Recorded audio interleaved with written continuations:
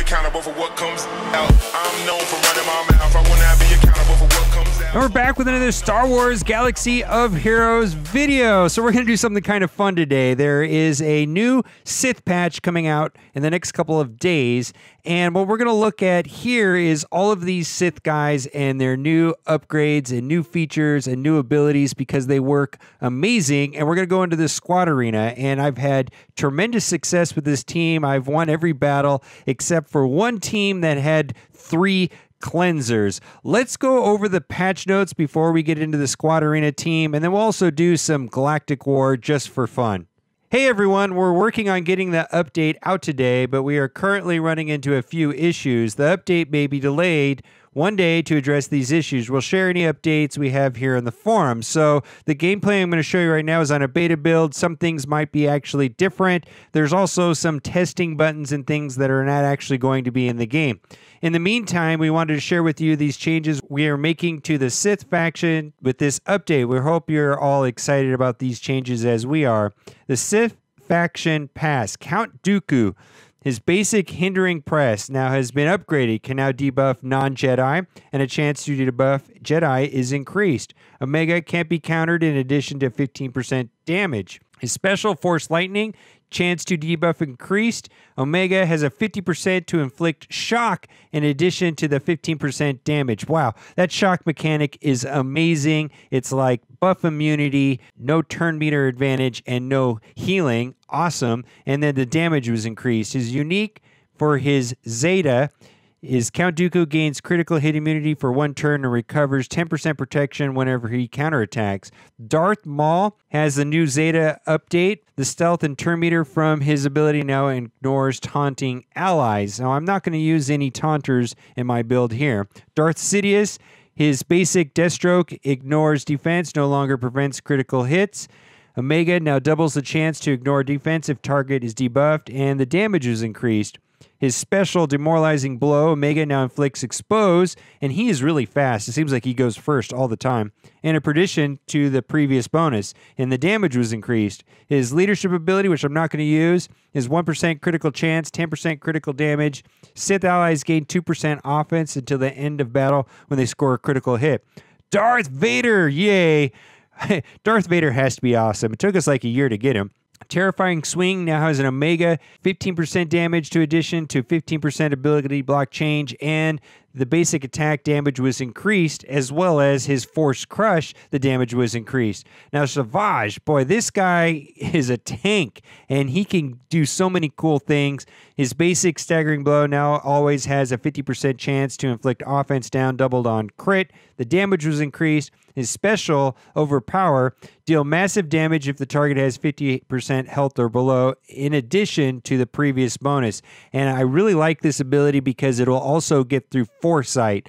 Very difficult to get through Kenobi when he has Foresight, and it just goes right through that. His leadership ability, which we're not going to use, changed to percent defense. Defense maxes out at 75%, and his Omega gives 15% defense and 30% tenacity. Now, his unique is really cool.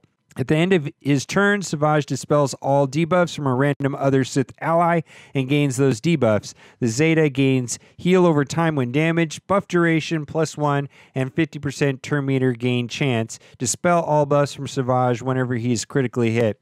So the final text reads Whenever Savage takes damage, he gains offense up, defense up, and heal over time for two turns and gains 30% turn meter. At the end of his turn, Savage dispels all buffs on a random other ally and gains those debuffs for one turn. Dispel all debuffs from Savage whenever he's critically hit. And I've seen this guy like one versus three guys all the time. Like he can just take out Jedi's. It's lots of fun. All right, let's go back to the phone. We'll look at Maul's leadership ability.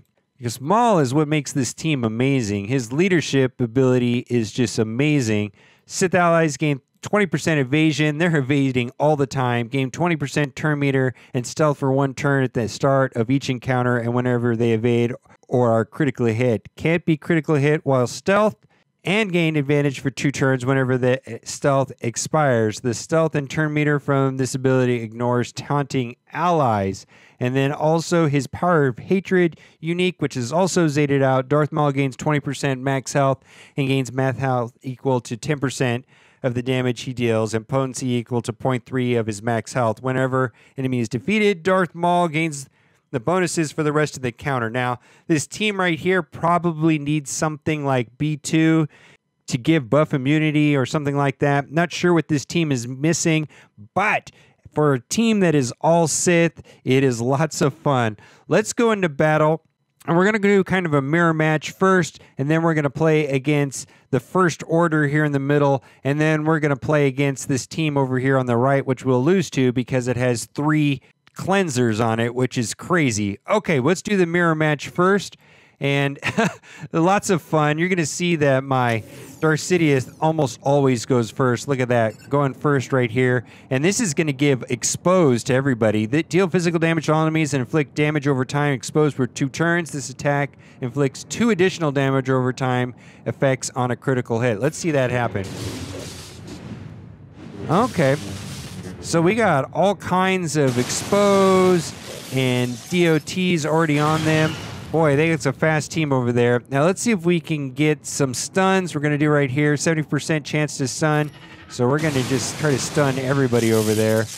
Ooh, we got a couple. All right, now this is also very good. Whirling Blades deal physical damage to all enemies and inflict daze for two turns. This attack deals double damage to Jedi's. Ah, we're getting lots of them right there. All right, we have to go after Kenobi. We're going to save this for when there is an opportunity to do that ma- massive damage when they have 50% health or below.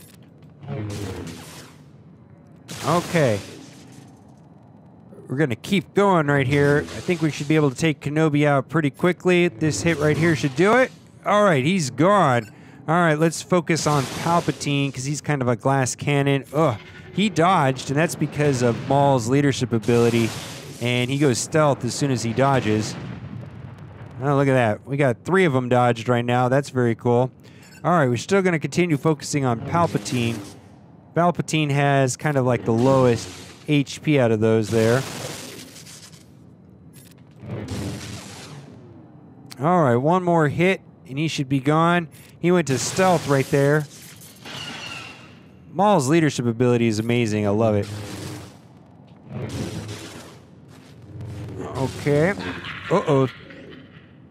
All right, he had heal block. Uh, computer misplays. All right, gotta love it.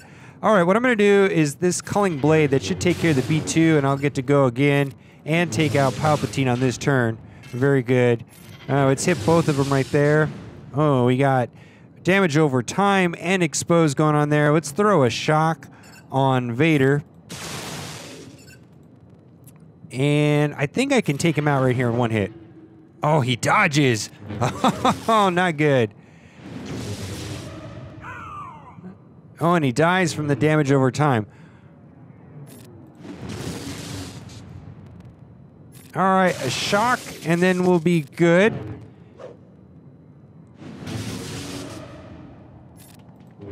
And now we're going to go up against a first order team right here that is very good. All the new upgrades to the first order are going to come up on the next match here. Still ranked number one? Okay, let's go into this first order team, which I find very interesting right here, where it's got Phasma. Okay, I'm going to try to take out the TIE pilot first. All right, let's see if we get a bunch of shocks here.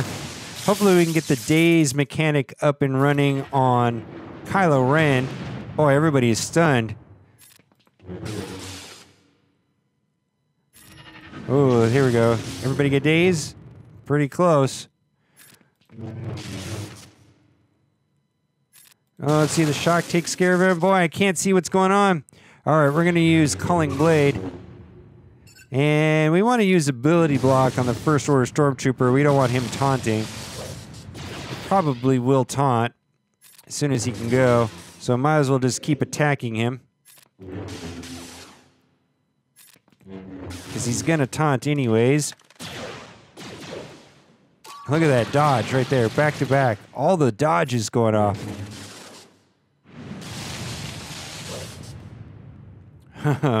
Massive amounts of dodges. Love it. All right, so he taunted like I thought he would. That's okay. He's almost gone.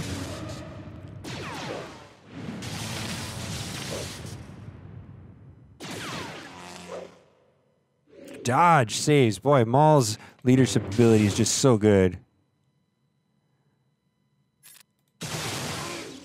All right, now we can focus on the first order officer.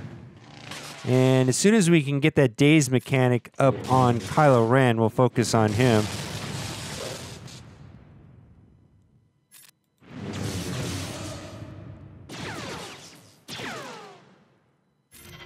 Here we go.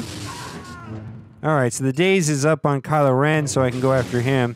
He can no longer use his counterattack, Retribution. Ooh, let's get some stuns. Both of them are stunned. I'm going to put a lot of effects on them right here. Seems like that could be very good with TIE Pilot and Boba Fett. All those negative status effects really seem to rack up. Could have did that massive damage there, but I didn't do it. That's all right. That would have done 99,000 damage if it would have hit him right there. All right, let's go and play this team that I can't win. And this team works well because it has a bunch of cleansers. General Kenobi can cleanse, Chirrut can cleanse, and then Barris has a cleanse. So this is a nightmare battle right here. Think that there would have to be something like B2 or maybe Shoretrooper to beat this team. It's just really tough. Now notice how everybody's got stealth. Sidious goes first. Look at that. He dodges and goes stealth himself. All right, if I can get a stun on Kenobi and Chirrut. Nope. All right, so what's going to happen is Chirrut is going to use his cleanse, and everybody's going to be unstunned and so on. And from there, it just gets ugly, and they take over. All right, we got a couple daze mechanics. Uh, we really needed to get daze on Chirrut. Maybe I can get ability block on Kenobi before he can go, because if Kenobi can go, then he's going to also get rid of all the status effects. It's just nuts. And then also Barris is getting rid of negative status effects all the time. Whoever's got the lowest health, she's taking out that. This is a great team right here. So this team right here that I'm playing against absolutely can take care of me because of their ability just to mess with everything that I'm trying to do to them. Three cleansers is crazy. All right, I'm going to put this on autoplay because it's pretty much a battle I can't win. Because it just over and over and over again, they just get health. Need to have B2 or something like that for this team. And then after this, we'll go into the Galactic War and just play around with it a little bit and see all the cool stuff that it does. Especially, I want to show you the overpower with Savage. Just hitting for 99,000 damage is a lot of fun.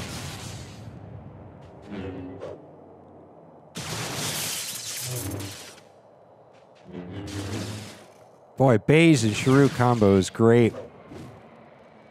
Dodge. Look at all these dodges. Yeah, anytime there's a dodge or a critical, they'll go stealth. Oop, there we go.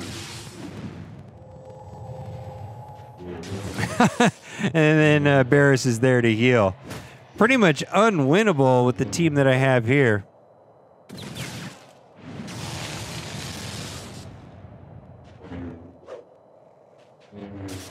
I'll let this play out. Slow death. Looks like Chirrut is the only one that can do serious damage on this team. Very defensive.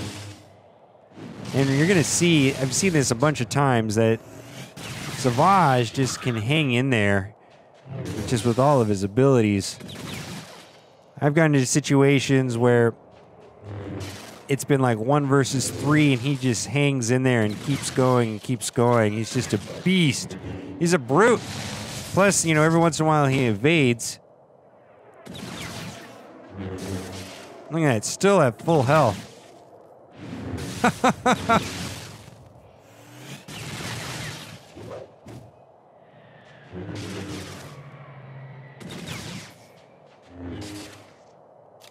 oh, they're barely dead to give. Finally, he's dead. All right. Let's go into Galactic War. Just play around for a bit because it's kind of fun.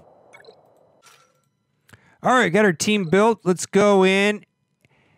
And I just want to show you that massive damage with Savage is so much fun. I'm sure we're just going to plow through them like it's nothing. They're not going to be able to do anything. Look at all that damage right there. all right, so this is going to do 99,000 damage, and he's dead. Now look at this. One more hit. Pretty insane. All right. Looks like the Sith are viable. Absolutely. They sure are a lot of fun to play. I think Darth Maul as leadership is going to be amazing with at least Palpatine and Darth Vader and Savage. Sidious, I'm still not really sure about. Dooku could pick up the slack, but I think there needs to be something else in there, some sort of dispeller like B2 to make the team complete. Let me know what you think in the comment section. Really appreciate Rogan for helping me out for about an hour and a half on this video right here. And as always, thanks for watching and keep on gaming.